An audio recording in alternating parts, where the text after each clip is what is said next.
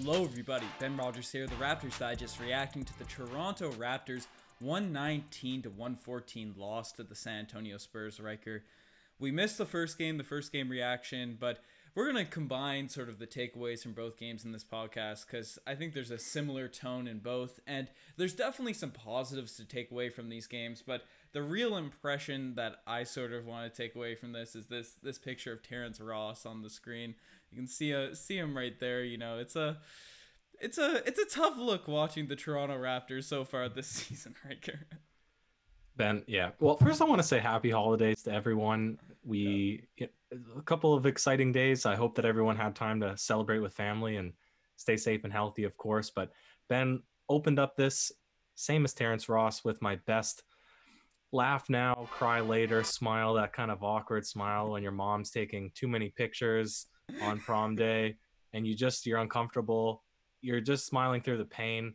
That's what this feels like, Ben. Dropping the first two games of the season to two non-playoff teams, to the Pelicans, San Antonio Spurs. But let's start with some positives, Ben. The positives are that Chris Boucher, Trey Boucher, he darn near went out there and got himself a triple double with blocks. I mean, that rarely ever happens in the NBA. We also have Pascal Siakam almost had a triple double. There'll be plenty of time for Pascal Siakam bashing later in this podcast, I'm sure. Aron Baynes looked pretty good. He looked pretty good for his limited stretch because obviously Chris Boucher eclipsed him this evening. And mm-hmm. our boy Fred VanVleet, he's getting the bag and he's he's kind of delivering already with 27 points this game. So there was positives, Ben. Yeah, there's a lot of positives, and we'll dive into Chris Boucher first. Chris Boucher with uh, 22 points, 10 rebounds, uh, seven blocks, as you mentioned. He was a guy that came out there and really, along with Fred Van VanVleet, especially in that second half, kept us in it, brought the energy, brought the defense, and these sorts of things. Honestly, you and I sort of brought up in the preseason that our biggest fear of this season was the center position, was after losing Serge Ibaka and Marc Gasol. Could we really rely on an Aron Baynes, a Chris Boucher, and obviously an Alex Len if those two guys go down? Could they really have an impact? And I think tonight we and you know in the past couple games we we see the issues are sort of forming in other places. Aron Baynes looks like a guy that can be a solid center to to play defense in the lane, take a few charges and hit the threes, finish around the rim. He actually actually looks like a better finisher around the rim than Marc Gasol was with the Toronto Raptors team. And Chris Boucher, obviously, why why Ben? Because he actually looked to take a shot. it, they were some weird shots. He wasn't even looking at the basket at the, mm-hmm. his first two hook shots. They were just behind his head. But Marc Gasol would infamously grab offensive rebounds and then toss it back out to the three point line. So it's a significant improvement from that standpoint that he's at least shooting it. Yeah, Aron Baynes has those Amir Johnson post hooks where the, he's not even looking at the rim, as you mentioned, just throws them up, you know, and they go in. They go in, so that's a positive with Baynes. Obviously, hit a couple threes, and we'll talk about one of them. That was a bit of a mess in the OGs, but Aron Baynes looked good, and obviously Chris Boucher, similar to last season, he has the nights where he looks absolutely phenomenal, like he did tonight, getting blocks, mobile, finishing around the rim, and handling his own, and then some games it's a, a little bit more lackluster, but tonight was obviously a positive. But the bigs, they sort of they calm me down a little bit, especially with the Spurs. They have LaMarcus Aldridge. Jakob Poeltl's a bigger guy. Not the scariest front court you'll ever go up against, but certainly not a small front court, Ryker. Yeah, but a terribly ath- unathletic yeah. front court. So it's not a really good example towards what the real tough competition would be in the East. So I don't want to put a lot of weight in this outside of saying all of our centers that played played pretty well tonight. We I don't think we need to take away from their from their games. Yeah, no, a thousand percent. And yeah, we'll we'll keep it with the positives to start because I know people in the comment section they're gonna be as soon as they Itching. comment on the video, it's it's gonna be a little bit of a mess. But uh, Fred VanVleet certainly had a strong performance tonight. Twenty seven points, nine assists, five to twelve from the three point line. Was really a guy that played that Kyle Lowry esque role where we he got us buckets when they were sort of needed, hit some threes and stuff, especially prior to the last four minutes of the game. We'll talk about that after, but he was he was a player that really stepped up, particularly in the second half, and did Fred VanVleet things on the defensive end, mobile, sort of ran the team. Do you have anything else, anything that really stood out to you about Fred VanVleet's performance tonight, Ryker? Nothing in particular, Ben. I thought he was at least looking to be aggressive in a couple of around the paint finishes of course, he's going to have those same troubles all season long just with his height, but he was doing more Kyle Lowry esque things. And I think when both of them are playing like, like this, it's, it's pretty good. You look at the box score across our starters, every single player scored in double digits. You know, if you're just looking at this game on paper, you would have thought that the Raptors actually played a lot better than what they did. But I think it's now probably the natural time. We can't avoid the elephant in the room for too long, Ben, or the Raptor in the room. It's that some of these guys just did not play up to par tonight. OG Anunoby, I think he's getting too much sun. He's having too much fun down there in Tampa. You're saying he needs to shave the neck beard. I'm saying he needs to lose the twisties. He just has to go back to good classic OG, get his confidence, get his mojo back. Pascal Siakam, again, on paper, looks like he had a good mm-hmm. game. And really, if, from the eye test, he was bad, bad, bad tonight. First, and I know that half, the first half, Siakam was all right. He missed a few threes and stuff, but the second half was a was a whole different story for Siakam. It was a whole different story. But what happened in the first quarter? He looked good because he was running the fast break. Mm-hmm. He was passing the ball. He didn't shoot a single three in the first, and then he opens the second quarter with four threes in a row. Yeah. Like, how is that your game? How why are we paying this person 120 million dollars to come out there and and go away from what they had success in doing? I'm yeah, finding it really hard to rectify that, Ben.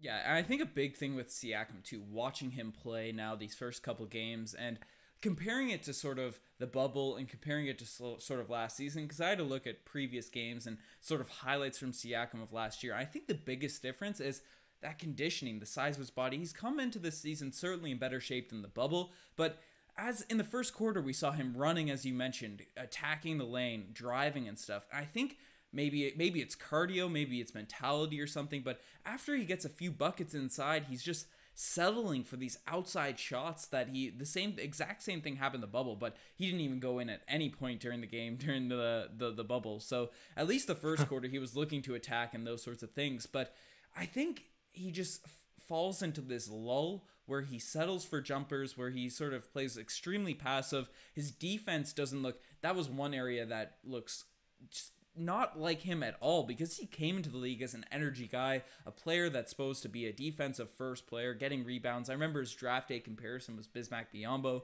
and you know he's not. There was a couple of possessions where he sort of switched out to guys around the perimeter, and you know, bigger guys like Rudy Gay, who seems like he's probably 40, 45 years old right now, and he was just blowing by him as quick, like super quick. Siakam looked sort of lazy, not engaged. He's not running the floor anymore. I think a part of it might be conditioning, and he definitely looks in better condition than the bubble, but still not at the same level as where as to where he was last season. And after this video, you guys should check out highlights of him last year, and you can really see that sort of difference in his game because he he just doesn't drive for long stretches, and then after he tries to sort of put the team on his back and we need to get a bucket, he just misses bunnies. And that's what happened in the bubble, and that's why we lost the Boston Celtics in the playoffs right here.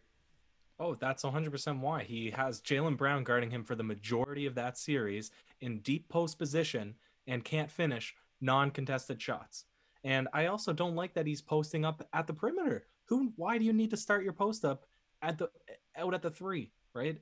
Use your quickness, right? Use your speed, use your first step to get around a guy. And then, you know, we make memes and we make jokes mm-hmm. about his his love for the spin move, but I mean, most of the time a spin move is relatively effective if you're doing it correctly with the right footwork and you have enough sort of speed behind yourself. It's not a bad move to to use and he's just come away from it completely and I I just he, he seems to be just a fragment of what he once was. But Ben, I think I, I, also want to talk about Nick Nurse because I have issues with not seeing Malachi Richardson or Malachi Flynn. I'm going to say Richardson a ton this season. I know Malachi Flynn, not seeing Terrence Davis, um, Bembry, just some weird minutes, Matt Thomas. But I think a lot of that will maybe come out in the segments.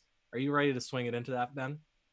Yeah, we'll we'll run through. I guess the players we talked about Baynes a bit. Lowry, Lowry was fine, 16 points, 10 assists. You can't expect night in, night out 2016 level Lowry. He's 34, 35 years old. I thought he at least brought energy tonight, which was a bigger thing than most of the players besides Boucher and these guys. So, uh, yeah, let's just swing into the segments. And tonight, the spicy P lay of the day, Ryker. Do you have one in mind? Uh, a positive? Start off with a positive segment. I was loving all of Chris Boucher's blocks this game, Ben he also on the flip side one of DeMar DeRozan's career best dunks, Yeah. one of maybe the NBA's nastiest poster dunks in history was on poor, unsuspecting Chris Boucher, who loves to try to get a hand on it. And tonight he was out there blocking DeMar DeRozan two, three, four times, it seemed like, blocking a ton of guys, blocking everybody that he was tasked to defend or switch onto. So that gets my spicy Pele. Yeah, no, Chris Boucher, the way he played tonight was really, really deserving. All the block shots, all those sorts of things. Fred did have a nice couple threes too. Matt Thomas, and we didn't even mention Matt Thomas. I thought he had a stretch there where he looked nice. His defense was fine, made some cuts. I don't know why that guy doesn't take open layups though. He loves to take those floaters even when there's no one in front of him going to the basket. But it is what it is. But not all plays can be the spicy Pele of the day, and some just make you say, "Oh, geez, Ryker." And there was a bunch of oh, OGs plays of the game tonight, and one of them for me was came at the beginning of this one. Aron Baynes had a really strong performance tonight, but we, you and I, really have been suspect on some of the big shooting, and Aron Baynes has solid percentages. We got, I got baited on some Alex Len stuff, and the start of this game, airballed a airballed a three pointer just, a, just right from the jump, and you knew that was sort of a symbolism for how this game would go, and yeah, that that play made me say, "Oh, geez," but there's certainly a lot more that could be could be noted, Ryker. There is a lot more, but Ben, a lot of them are going into my DeMarre Carroll Gold Star Award. So if we want to swing it along, Let's let's swing it straight into that We- DeMarre we- Carroll Gold Star. we'll swing it straight in, Ben. This is reserved for bad plays, bad players. It's it's a it's the award that you don't want to get. It's a fan favorite. Yeah, we gotta remind the only. We gotta remind people. Oh, Yeah, I'm reminding them right now, Ben, that it's. Dem- I want at some point DeMarre Carroll will become distant memories, and I'm Mhm. sure that pa- maybe Pascal Siakam is making his bid to become the title holder of this award, the award that players don't want to receive, but we're keeping it for now. The DeMarre Mhm. Carroll Gold Star Award for worst performance. To me, it's going to a, a handful of players, Ben. I'm going to rattle them off. One, Nick Nurse. He's not playing Malachi Flynn. What are you doing? We said that this guy has the potential to be a starter, maybe just from what we've seen in the preseason on any NBA team, and you're not giving him any minutes in a game that you're you're losing that you could use his services. I'm giving to Nick Nurse again, who's out there screaming his head off two at the Nick end of the Nurses. game. Two Nick Nurses. Two, he's getting it twice. I'm throwing the animation for all of them you throw out there. Yeah, please do. I listen. It's not a championship game. It's the second regular season game of the season. If you're that intense, if you're that passionate about losing, put Don't together a lineup that's gonna win. that's on you, Nick. That's on you, not the refs. That frustrated me. And then the third one I'm giving it to is oh, I had one. It's Matt Thomas. The third one I'm giving it to is Matt, Matt Thomas. Thomas. Yeah, because everybody knows it's Matt 99% Thomas. He's lost that title. He's missed a lot of threes. He's missed a lot of threes now in the preseason and the regular season. I'm I'm gonna let him keep Matty Ice, but I'm hoping he doesn't devolve even further to Matthew Thomas because that is unplayable. Matthew Thomas was certainly uh, uh, there on the court at uh, at stretches in this game, but he did have a hot streak. So I, I kind of gave a half to Mari Carroll Gold Star where I flashed it on the screen. But the one I'm surprised you didn't bring up, Ryker, and I'm giving a full DeMarre Carroll Gold Star award for this one, Norman Powell. And I've notoriously been a guy that's lived on Norm Island during those bad stretches when everyone sort of hates the guy and wants to trade him and all those sorts of stuff. And this might be the worst I've seen Norman Powell. He's had highs, he's had lows, but he's come into this season, whether it be the preseason, whether it be the first game against the Pelicans, this one, and he just does not look engaged. He does not look ready to go. He looks a little bit so I don't know if it's out of shape, but just lethargic on the basketball court. And we we gave the recommendations. We wanted him to wear the t-shirt underneath the jersey. We thought that's what it was with Norman Powell, but he brought back the t-shirt under the jersey and scored zero points again tonight, 0 for 5, missing layups. You know, I, I don't know what we can recommend at this point for Norman Powell. I don't know if he has any. I didn't see any co- commercials going for Norm, so no GoDaddy curse, no Osmos curses. What what is it with Norman Powell this go around, Ryker? Because it was probably the lowest I've seen Norman Powell play tonight. You know it's bad. Five shots, five misses, all of them layups. And mm. you have Matt Devlin, Leo Rautins making comments like, because Chris Boucher got the offensive rebound on all five of them. And when they're saying something like, Chris Boucher, he knows his teammates, i.e., he knows Norman Powell's going to miss his layups around the rim. You got it's not good. It's not good, Ben. And I'll let you talk about Norm a little bit more if you want to. But before I forget, the final DeMarre Carroll Gold Star Award, I'm giving it to me. I'm giving it to ya boy Ryker, who I'm I'm a notorious DeMar DeRozan anti fan. I don't want to call myself a hater. I just think he's he's just not part of the modern NBA. And if he's going to come out there and hit three and what should have been four three pointers on the Raptors, shooting 58%, I wouldn't even mind having him back on the team. And this is me adamantly saying to stay away from this guy. I'm giving myself the Gold Star Award for doubting on one of the Raptors' goats. Record. I've been saying this to you all the time. I was actually going to give you the DeMarre Carroll Gold Star Award, so I, I'm happy you graciously took it in stride. But DeMar DeRozan looked pretty fire out there tonight. He's a free agent this offseason, you know. That might be he one picked thing. up his player option. Yeah, this this coming offseason. He picked up his player Oh. option for this year. So he's Oh, the big 2021 fish, right? He actually is, isn't he? Who is No. it? Him and Drummond? him, Drummond, and Lowry. So him and Lowry are free agents. So maybe we could recruit DeMar back. Maybe Lowry and him will team up somewhere else. Hopefully not. I feel like our team would go to complete, just be a complete mess without Kyle Lowry, especially how he looked tonight. But with Norman Powell playing this way, I guess we have a lot of shooting guards sort of coming off the bench now. Hopefully in the in the wings, waiting for minutes. But we could sign DeMar DeRozan. And that's obviously a Mimi skept.